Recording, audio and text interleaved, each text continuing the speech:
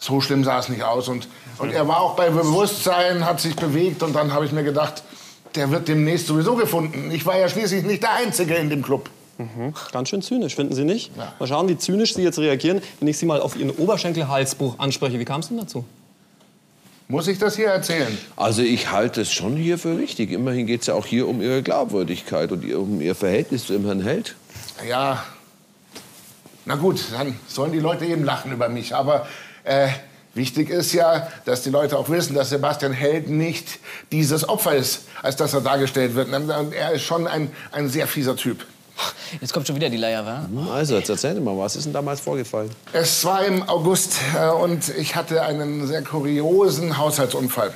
Na gut, ich kam aus der Dusche, ich bin ins Wohnzimmer gelaufen und weil ich so gut drauf war, habe ich dort die Musik aufgedreht und habe ein bisschen Luftgitarre gespielt. Und zwar splitternackt? Na und? In meiner Wohnung darf ich machen, was ich will, ja? Ist doch wahr. Naja, und ich war nicht wirklich so gut abgetrocknet und ich bin ausgerutscht und dann äh, leider in meine Kakteensammlung gefallen. Mit dem Hintern, das muss man sich erst mal vorstellen. Ich weiß nicht, was da lustig sein soll. Also ich stelle mir es eher ziemlich schmerzhaft vor, oder? War es auch, ja. Also. Vor allen Dingen bin ich hauptsächlich in so einen großen mexikanischen Kaktus gefallen. Der hat sehr dicke und auch sehr lange Stacheln und die haben sich dann auch sehr tief reingebohrt und sind natürlich auch abgebrochen, als ich abgerutscht bin. Und das tat wirklich sehr weh. Und deswegen habe ich dann auch den Rettungswagen geholt. Und einer der Sanitäter war dann der Held, oder? Um es kurz zu machen. Richtig. Er und ein Kollege kamen dann an und was soll ich sagen? Die haben mich nur ausgelacht. Die haben sich krank gelacht über mich in meiner Situation. Ja, aber ich meine... Nein, nichts aber. Man muss schon sagen, das ist alles andere professionell. Da darf man sicherlich eine andere Leistung erwarten. Ja, ja? mit sowas rechnet man doch nicht. Nee, mit dem Aber brauchen Sie gar nicht zu kommen. Das ist eine ganz schwache Leistung. Ja. Richtig. Aber das Schlimmste kam ja noch. Und zwar haben die mich fallen lassen auf der Treppe. Ich lag auf dieser Barre, also auf dem Bauch, auf dieser Barre und nur ein, hatte nur ein T-Shirt an und, und über meinem Rest äh, lag nur ein Tuch. Und die haben die ganze Zeit weiter über mich gelacht. Und deswegen haben sie nicht aufgepasst, waren nicht konzentriert und haben mich fallen lassen. Und das ich bin die Treppe runtergesegelt. Und dabei habe ich mir das Bein gebrochen. Das stimmt doch gar nicht. Das war ein Unfall, ein ganz blöder Unfall. Und ich habe es bestimmt nicht mit Absicht gemacht. Das ist eine reine Schutzbehauptung. Ja, es ist ja verständlich, dass Sie für den Unfall einen Schuldigen suchen. Aber äh, entschuldigen Sie bitte, Unfälle passieren normal. Ja, das war aber kein Unfall. Das war Unfähigkeit, ja? Und deswegen wollte ich auch ein Schmerzensgeld haben. Ich hatte auch einen Arbeitsausfall dadurch. Ja, ich wollte mich mit den beiden dann gütig einigen, habe die mehrmals angesprochen, aber die wollten nicht drauf eingehen. Haben gesagt, ich könne ihnen sowieso nichts und haben weiter über mich gelacht. Wir wollten ja auch erst einen Kompromiss finden. Aber da sie uns so beleidigt haben, haben wir überhaupt nicht eingesehen, einen Cent zu bezahlen. Natürlich war ich wütend und dann habe ich sie angezeigt. Mhm. Ja, ich meine, wenn es nicht anders ging, man hat sich nicht einigen können, ich habe es ja gütig probiert, dann habe ich sie angezeigt, habe gesagt, wir gehen den harten Weg. Aber dabei kam auch nichts raus. Die beiden haben sich zusammengetan und haben äh, eine Geschichte aufgebaut, wie sie den Unfall darstellen. Und dann so es war. stand da vor Gericht, stand da Aussage gegen Aussage und am Schluss wurden Ermittlungen eingestellt. Wenn es so war, wie Sie es hier schildern, dann verstehe ich natürlich, dass Sie sich hier irgendwie ungerecht behandelt fühlen. Aber haben Sie es denn damit auf sich beruhen lassen? Naja, musste ich. Ich hatte keine andere Wahl. Ach ja? Also, soweit ich weiß, haben Sie noch regelmäßig beim Herrn Held und seinem Kollegen angerufen und regelrechten Telefonterror gemacht. Nein, nein, das kann man nicht sagen. Oh, Aha. Kennen Sie das hier? Sehr schön. Denn diese Nachrichten hier, die belegen da ganz was anderes. Was sind das für Nachrichten? Ja, das sind Nachrichten, die mir der Held freundlicherweise zur Verfügung gestellt hat. Und ähm, die wurden ihm vom Herrn Meier über ein soziales Netzwerk geschickt. Und wenn man das hier so liest, Herr Meier, dann macht es aber nicht den Eindruck, als hätten Sie den Vorfall im Treppenhaus abgehakt. Haben Sie dem Herrn Held und seinem Kollegen Nachrichten geschickt? Ja, schon länger her. Ein, zwei vielleicht. Zeigen Sie mal. Ein, zwei beschluss die vom Herrn Verteidiger übergebenen Ausdrucke von Nachrichten, was sind das, Postings im sozialen Netzwerk, an des Zeugen Meier, an den Zeugen Held, kommen auszugsweise zur Verlesung. Ich werde nicht zulassen, dass ihr mit dieser Schweinerei davonkommt. Und dann heißt es hier, hm, man sieht sich immer zweimal im Leben. Und da steht Auge um Auge, Zahn um Zahn, irgendwann krieg ich euch. Wie muss ich denn das verstehen, Herr Meier? Herr Mayer, das erkläre ich Ihnen. Auge um Auge und Zahn um Zahn. Oder was bei Ihnen vielleicht Rippe um Oberschenkelhals? Nein, nein, nein, nein, nein, so war das ja gar nicht gemeint. Äh, ich war sehr wütend, ja. Ich habe das in der ersten Wut geschrieben, damals, gleich nach dem Vorfall. Und äh, ich musste einfach meinen Frust rauslassen. Was soll ich sagen? Ich habe doch nicht wirklich ernsthaft gemeint, ihm irgendwie das in die Tat umzusetzen und ihn zu schädigen. Nee, nee, nee, nee, so war das sicher nicht gemeint. Also Sie sagen in der ersten Wut, Entschuldigung, diese Nachrichten sind über mehrere Wochen verteilt abgeschickt worden an den Herrn Held. Die letzte dann erst zwei Tage vor dem, vor dem Überfall auf den Herrn Held. Da kann man aber nicht mehr von der ersten Wut sprechen, oder? Ja, das sehe ich nämlich genauso. Sie wollten Rache, nichts anderes. Und da hatten Sie in der Disco das erste Mal Gelegenheit dazu. Wussten Sie denn vor dieser Begegnung auf der Toilette, dass sich der Held an dem Abend auch in dem Club aufgehalten hat? Na, selbstverständlich. Ich meine, er war ja nicht zu übersehen. Er war mit dieser Julia auf der Bühne und hat sich da von ihr vor allen Leuten zum Affen machen lassen. War doch gar nicht zum Affen machen lassen. Mann, ich habe eine richtig geile Performance mit dir abgeliefert. Sie vielleicht, ja, sie vielleicht. Aber dich hat sie ja nur auf die Bühne geholt, weil sie genau wusste, dass sie noch schärfer ist neben so einem hässlichen Pickelgesicht wie dir. Also, hier wird niemand beleidigt, bitteschön, auch nicht für sein Äußeres. Bleiben wir mal bei Ihnen. So ein Oberschenkel-Halsbruch ist ja mit Sicherheit eine langwierige Geschichte. Hm? Ja, wie wie weit ist denn das inzwischen verheilt? Oder war das damals verheilt, meine ich? Es ging so. Waren Sie dann noch mit Krücken unterwegs? An sich ja. Aber an dem Abend habe ich die Krücken zu Hause gelassen, äh, weil man kommt ja bei Frauen nicht so gut an auf Krücken, außer man hat eine Sportverletzung zu präsentieren. Aber wenn man eine Geschichte erzählen muss, wie ich, mit Kaktusstacheln im Allerwertesten, das, nee, nee, nee, das kommt bei Frauen sicher Aber nicht reden wir mal gut. Klartext. Wie waren das jetzt ohne Krücken? Hatten Sie da noch Schwierigkeiten beim Gehen gehabt? Ich konnte noch nicht so schnell. Ich musste schon noch Ja. mein linkes Bein schonen. Ja gut, ich meine, da frage ich mich schon. Das Opfer wurde mehrfach eingetreten. Soll dazu hier der Zeuge in der Lage gewesen sein, mit seinem schmerzenden Bein? Ja, das beantworte ich Ihnen kurz und knapp. Ja, er musste ja nur ganz kurz auf dem verletzten Bein stehen, um dann mit dem anderen zuzutreten. Ach Quatsch, ich hätte überhaupt nicht zutreten können. Also weder mit dem einen noch mit dem anderen Ja, Bein. ja, ja, genau. Immerhin konnten Sie noch die vielen Stufen rauf in den ersten Stock auf die Toilette gehen. Da frage ich mich, warum Sie nicht unten auf die Toilette gegangen sind, wenn Ihr Bein Ihnen so wehgetan hat. Aber die Toilette, die müssen Sie sich mal ansehen. Die oben im ersten Stock ist sehr viel sauberer, weil da nämlich sehr viel weniger Leute hingehen. Ist das denn mit einem gebrochenen Oberschenkel nicht völlig egal? Nein, ich mochte noch nie öffentliche Toiletten. Sie haben doch gesehen, wie der Herr Held da raufgegangen ist ins Klo. Und dann sind Sie ihm hinterher, um sich an ihm zu rächen. Nein, das stimmt nicht. Ich habe ihn so vorgefunden, wie ich es erzählt habe. Also bezweifle ich, dass Herr Meier überhaupt schnell genug seinem Opfer hätte folgen können. Ne? Ich meine, ohne Krücken wohlgemerkt. Das kommt drauf an. Wenn er ohnehin in der Nähe der Treppe gestanden wäre, wäre das durchaus machbar gewesen. Warum wollen Sie mir das unbedingt anhängen? Ich meine, ich bin doch nicht der Einzige, der gesehen hat, dass er bei den Toiletten war, oder?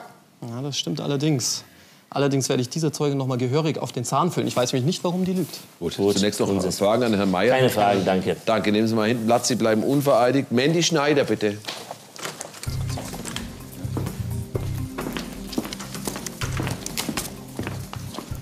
Guten Tag, Frau Schneider. Nehmen Sie mal bitte Platz.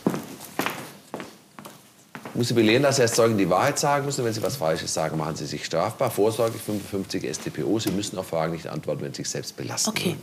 Sie heißen Mandy Schneider, 20 Jahre alt. Sie wohnen in Oberhausen. Sie sind ledig und Sie arbeiten als Bedienung. Ja, als Bedienung im Paradise. Mit dem Angeklagten sind sie weder verwandt noch verschwägert. Sie wissen aber, worum es geht. Ihm wird vorgeworfen, er soll im Paradise am Abend des 28. Oktober äh, dem Herrn Held auf die Toilette gefolgt sein und ihn dann dort verprügelt haben. Haben Sie gearbeitet auch an dem Abend? Ja, und ich habe gesehen, wie Julia Sebastian eine Ohrfeige links und rechts verpasst hat. Kurz darauf kam Ralf auch in den Club. Und dann ist er direkt zu Sebastian gegangen. Da wusste ich schon, es gibt Ärger und habe unseren Türsteher signalisiert, er soll mal die Lage auschecken. Das heißt, Sie kennen eigentlich die ganzen, also den Angeklagten und seine Freundin. Ja, die sind Stammgäste bei uns. Außerdem ist Ralf ein Freund von meinem Chef. Was haben Sie dann weiter beobachtet noch? Ja, der Türsteher hat Ralf ganz schnell weggeholt und dann standen Julia und er bei mir an der Bar. Und dann, ich dachte, er hätte sich beruhigt, aber nach einer Viertelstunde ist er aufgesprungen und Richtung Toilette gegangen. Ey, was soll, was soll denn das jetzt? Das ist Bullshit, was Wie, du jetzt, so, jetzt mal, wie nahe waren Sie da dort? Zwei, drei Meter vielleicht, die standen ja direkt bei mir an der Bar. Hm? Haben Sie mitbekommen, was der Angeklagte wollte? Nee, er hat nur irgendwas zu seiner Freundin gesagt. Ich konnte es nicht genau hören, aber es muss was Kurzes, Heftiges gewesen sein. So wie, den schnapp ich mir oder sowas. Ralf ist nicht weggegangen. Und sowas hat er auch garantiert nicht gesagt. Ja, dann war es halt irgendwas anderes in der Art. Auf jeden Fall habe ich mich gewundert, was das soll. Und als der da noch dann zur, zur Toilette gegangen ist, wusste ich, dass Ralf hinterher will. Was, was erzählst du hier für eine Scheiße? Ich habe doch gesehen, dass du ihm gefolgt bist. Wie lange haben Sie denn meinen Mandanten beobachtet? Ein paar Sekunden. Danach wollten andere Leute was an der Bar. Dann haben Sie doch gar nicht gesehen, ob mein Mandant die Treppe hoch zur Toilette gegangen ist. Nein. Es, es kann gut sein, dass ich mal drei Meter von Julia weg bin, aber weiter nicht, auf gar keinen Fall. Also zu Zusammenfassen kann man so, er ist vielleicht mal ein paar Meter von seiner Freundin weggegangen. Sie haben aber auf jeden Fall nicht gesehen, wie er rauf zur Toilette gegangen ist. Du willst mich ja absichtlich reinreiten. Gib's doch zu. Nein, also warum sollte ich das tun? Mein Mandant, der ist ganz klar unschuldig und ich sage Ihnen auch warum. Sie haben überhaupt nichts gesehen, der Herr Held hat überhaupt nichts gesehen. Und der Einzige, der meinen Mandanten belastet, ist der wahre Täter. Oder, Herr Meier? Das ist Quatsch. Ich war nur zufällig bei den Toiletten. Ich habe damit nichts zu tun. Ich bin mir ziemlich sicher, dass es Ralf war. Hey, geht's noch oder was? Ich habe dich doch gesehen. Und außerdem, ähm, ich hab, ähm, bevor du unschuldig davonkommst, muss ich dir noch was erzählen. Und das wäre? Ich habe ihn gesehen, als ich kurz eine rauchen war bei den Toiletten. Ja, was soll denn das jetzt schon wieder? Ich hab gesagt, dass ich kein einziges verdammtes Mal da oben war bei den Toiletten. Wie oft soll ich noch sagen? Ja, nur weil Sie es ständig wiederholen, wird es nicht wahr. Jetzt mal ganz langsam, wenn Sie ihn da gesehen haben wollen bei den Toiletten, wieso haben Sie es bei Ihrer ersten Vernehmung nicht gesagt bei der Polizei? Ja, ich brauche den Job unbedingt und hätte mein Chef erfahren, dass ich während der Stoßzeit eine Rauchen war, der, der hätte mich rausgeschmissen. Und außerdem dachte ich, ich krieg Ärger, wenn ich den Ralf zu stark belaste. Also Die sind sorry. ja immerhin befreundet. Darauf kann ich jetzt wirklich keine Rücksicht nehmen. Es geht ja um einen schwerwiegenden Vorwurf. Also nochmal genau. Wann sind Sie da hoch zu den Toiletten und was wollten Sie da genau? Das war vielleicht drei Minuten, nachdem, nachdem Ralf hochgegangen ist. Ich wollte eine rauchen und deswegen habe ich die Treppe hinten am Lager genommen. Die, geht, die ist kürzer, weil ich nicht an den ganzen Leuten auf der Tanzfläche vorbei muss. Und was haben Sie da beobachtet? Wenn man zum Raucherbalkon will, muss man an den Toiletten vorbei. Und da habe ich links um Eck äh, eine, eine Stimme gehört. Das war die von Ralf. Und was hat er gesagt? Du blöder Idiot, deinetwegen muss ich das Training abbrechen. Hier, das ist die größte, der größte Haufen Scheiße, den ich jemals gehört habe. Ich weiß nicht warum, aber die, die Tussi will mich hier absichtlich reinreiten. Herr Möss, so nicht. Es ist jetzt Schluss mit solchen Ausdrücken hier. Klar? Klar. Noch mal eine Frage an Sie, Herr Held. Hat der Täter was zu Ihnen gesagt? Weiterhin unter Wahrheitspflicht. Keine Ahnung, Mann. Ich stand unter Schock. Mir hat das Blut in den Ohren pulsiert. Ich habe nichts gehört. Kann sein, dass er was gesagt hat. Ich weiß es einfach nicht mehr. Gehört haben Sie nichts. Ja? Wissen Sie, was ich denke? Dass Sie diese Begegnung frei erfunden haben. Ich meine, es spricht doch Bände, dass Sie jetzt erst mit dieser Geschichte daherkommen. Ich habe hier den starken Verdacht, dass Sie um jeden Preis hier erreichen wollen, dass mein Mann dann verurteilt wird. Das ist totaler Quatsch. Ich arbeite in der Bar und sonst habe ich mit den Leuten nichts zu tun. Und warum erzählst du dann so einen Scheiß, hä? Steckst du etwa einen Kaktustypen unter einer Decke, hä? Geht's noch? Wie viel zahlst du ihr denn, hä, dass er gegen mich aussagt? Ja, geht's noch. Wer zeigt denn die Leute an, hä? Wer schreibt den Drohbriefe? Ich nicht, hä? Das bist ja wohl du. Moment, und Madame, hä? Jetzt fliegt auf, dass du Scheiße laberst. Weil das, was er behauptet, kann ich ja gar nicht gesagt haben. Was, dass Sie seinetwegen Ihr Training abbrechen Ja, müssen? wegen Training abbrechen, weil als Julia mich angerufen hat, war ich ja mit meinem Fitness schon durch und war in der Dusche. Kann das jemand bestätigen? Ja, natürlich. Der Didi aus meinem Fitnessclub, der, der muss ich noch dran erinnern, weil die haben mich extra aus der Dusche geholt, weil ich das Handy nicht gehört hatte. Und? Haben Sie dazu was zu sagen? Ich, ich habe mir das nicht ausgedacht. Vielleicht meinte er nur, dass er nicht fertig duschen Ja, dann konnte. hätte ich wohl nicht gesagt, dass ich mein Training hätte abbrechen müssen. Jetzt versuche ich gar nicht hier rauszureden. Sag mal, äh, wie bist du eigentlich zum Raucherbalkon gekommen? Habe ich doch schon gesagt. Hinten über die Treppe im Lager. Jetzt hast du dich endgültig verraten. Ach ja? Und wie denn? Weiterhin unter Wahrheitspflicht auch? Ja, meine Freundin Tess hat an dem Abend nämlich auch in Paradise gearbeitet. Und ich wollte vor dem Contest noch kurz eine rauchen gehen. Und damit es schneller geht, wollte ich auch die Mitarbeitertreppe benutzen, äh, damit ich halt auch nicht durch die Menge laufen muss. Ja, da hat aber meine Freundin Tess gesagt, dass das leider nicht funktioniert, weil der Roberto nämlich den Schlüssel für die Zwischentür vergessen hatte. Also, also habe ich es richtig verstanden. An dem Abend konnte gar niemand diese Mitarbeitertreppe ähm, benutzen und über die Treppe zum Lager hochgehen, weil der Schlüssel dafür gar nicht da war und abgesperrt war. Ganz genau. Und wahrscheinlich hat sie gedacht, dass das überhaupt keiner hier weiß. Ich meine, ich habe es auch schon wieder fast vergessen. Also da konnte keiner, auch nicht die Angestellten. Wollen Sie uns das erklären? Und ich, wir können natürlich auch diesen, wie heißt Ihr Trainingskollege, den Didi und die Tess und den Roberto und alle als Zeugen vorladen. Ja, vom, vom Didi habe ich die Nummer hier. Kann ich Ihnen jederzeit geben. Also Kein Julia, Thema. Julia muss sich geirrt haben. Das war wahrscheinlich ein anderer Tag. Das war kurz vor dem Contest, also verarsch mich nicht. Also ich weiß nicht, warum Sie hier lügen, zumal Sie ja mit meinem Mandanten überhaupt nichts zu tun haben. Aber ich kann Ihnen eins sagen. Es ist höchste Eisenbahn, mit dem Lügen aufzuhören. Ja? Jetzt kommen Sie vielleicht noch aus der Nummer raus, wenn Sie jetzt zur Wahrheit beitragen und hier ein bisschen auf, um Aufklärung bemüht sind. Dann ist die Falschaussage weg, dann kommen Sie mit dem blauen Auge davon. Ich kann da dem Herrn Verteidiger nur zustimmen. Also sollte herauskommen, dass Sie hier die Unwahrheit gesagt haben und dabei bleiben, dann steht durchaus auch eine Freiheitsstrafe im Raum. Oh Gott, daran habe ich gar nicht gedacht. Ich wollte, ich wollte doch nur meine Schulden loswerden. Ich will jetzt mal die Wahrheit wissen und nichts anderes mehr, ja? Okay, ich habe es nicht gesehen, wie Ralf Sebastian gefolgt ist. Das sage ich die ganze Zeit. Also dann waren Sie auch nicht oben bei den Toiletten. Doch, ich, ich wollte wirklich kurz eine rauchen. Aber dann Ja gut, wollte rauchen, Und sind waren, wahrscheinlich Sie, dann... waren Sie oben, aber Sie konnten ja nicht die Hintertreppe hoch. Also. Sind Sie die normale Treppe Ja, hoch? ich bin über die Haupttreppe. Und? Ja, haben Sie da den Angeklagten gesehen? Bei den Toiletten? Haben Sie ihn da gesehen? Nein. Nein, Nein. was ist da wirklich ja. geschehen da oben? Ja, ich bin die, ich bin die Haupttreppe hoch und dann habe ich direkt Thorsten, Thorsten gesehen, wie er aus der Toilette kam. Und ich habe gerade noch sehen können, wie Sebastian hinter ihm sich auf den Boden krümmt. Das ist gelogen. Wie ich es vermutet hatte. Ich hätte nie gedacht, dass der so ausrastet. Naja, Herr Mayer, 55 StPO, Sie müssen sich selber nicht belasten. Stimmt das, was die Frau Schneider hier sagt? Ich habe keine Ahnung, von was sie redet. Äh, eben haut sie noch den Bodybuilder in die Pfanne und jetzt mich, die, die, die spinnt doch total, die macht, was sie will. Frau Schneider, Sie haben doch vorhin gerade erwähnt, dass Sie Schulden haben. Wie hoch sind die Schulden? 5000 Euro. Ich habe halt Klamotten im Internet bestellt und die erste Einrichtung meiner Wohnung ging auch nur auf Raten. Und ehe ich mich versah, hatte ich eine Mahnung nach der anderen im Briefkasten. 5000 Euro Schulden, das ist eine Menge in Ihrem Alter. Hm? Ja, ich habe angefangen, extra Schichten im Paradise zu arbeiten, und, um die Schulden abzustottern, aber es war uferlos. Und dann stand Thorsten in der Tür. Und? Sie haben ihn erpresst, oder was? Nein, ich habe ihn natürlich gefragt, was da los ist. Und da hat er mir Geld geboten, damit ich vergesse, was ich gesehen habe. Das stimmt nicht. Sie halten sich jetzt mal ganz still raus hier, ja? Wie viel hat er Ihnen geboten?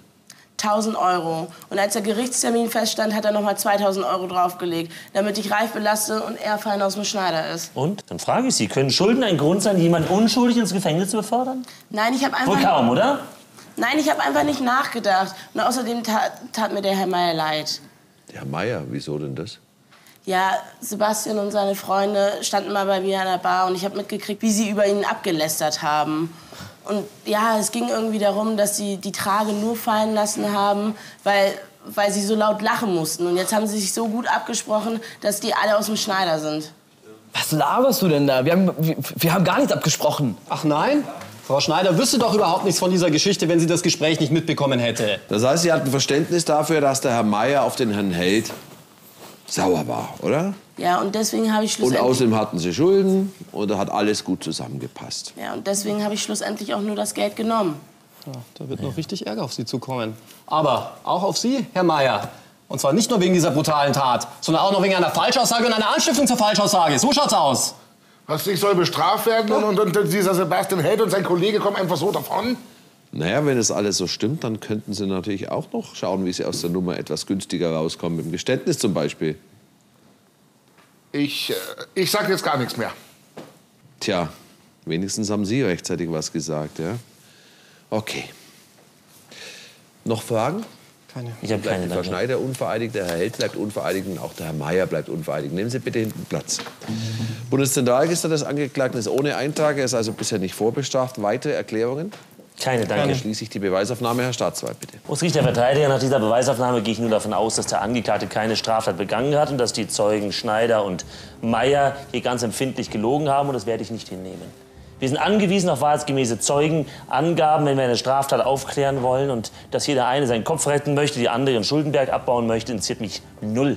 Ja, auf gut Deutsch Zeugen wie Sie sind das allerletzte und gegen Sie muss man streng vorgehen, hart vorgehen, dafür werde ich sorgen. Freispruch. Danke, Herr Staatsanwalt, Herr Verteidiger, bitte.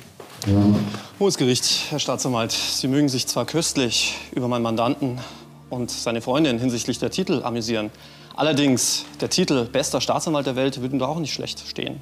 Allerdings kann ich Ihnen den heute nicht ganz uneingeschränkt verleihen, Herr Kollege, denn Sie haben heute schlichtweg den Falschen verfolgt. Ja? Und das, obwohl Thorsten Mayer kein Alibi hatte und auch noch ein Mordsmotiv. Naja, wie dem auch sei, vielleicht kann ich heute doch noch einen guten Titel verleihen, nämlich den des besten Angeklagten der Welt. Denn der beste Angeklagte für einen Verteidiger ist der, der freigesprochen wird. Und das beantrage ich hier. Danke, Herr Verteidiger. Herr Möss, Sie haben die Anträge gehört. Sie können selbst noch was sagen. Sie haben das letzte Wort. Ja, ich habe es von Anfang an gesagt, dass ich mit der Sache nichts zu tun hatte. Dann verkündige ich das Urteil nach einer kurzen Unterbrechung.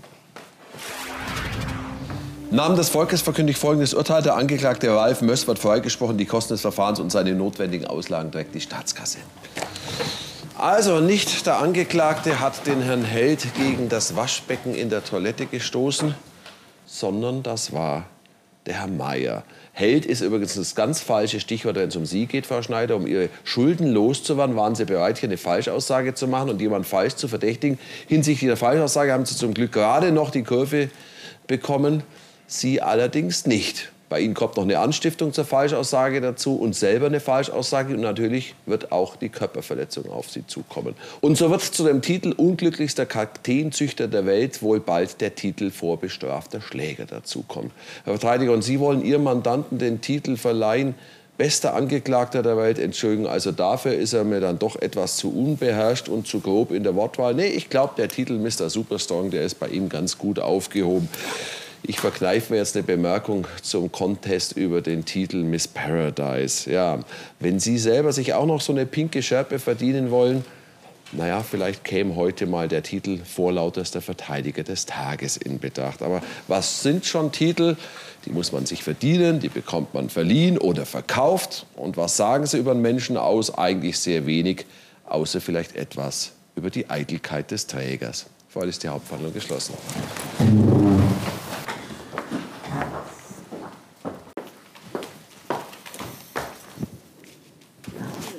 Ich habe doch extra einen Nobody auf die Bühne geholt. Ja, Schwamm drüber. Hauptsache, der, das Fotoshooting ist gerettet. Aber warte mal, lass uns doch. Was hältst du davon, wenn wir den Zeitungsfuzzi anrufen? Der soll eine Story über uns machen, sogar mit Foto. Ich habe auch schon eine Überschrift. Intrige gegen Mr. Superstrong und Miss Paradise. Was hältst du davon? Oh, absolut geil. Das ist geil, ja. Thorsten Mayer wurde wegen gefährlicher Körperverletzung, falscher Verdächtigung, uneidlicher Falschaussage sowie wegen Anstiftung zur falschen Verdächtigung zu einer Freiheitsstrafe von einem Jahr und zehn Monaten verurteilt. Mandy Schneider wurde wegen falscher Verdächtigung zu einer Bewährungsstrafe von sieben Monaten verurteilt.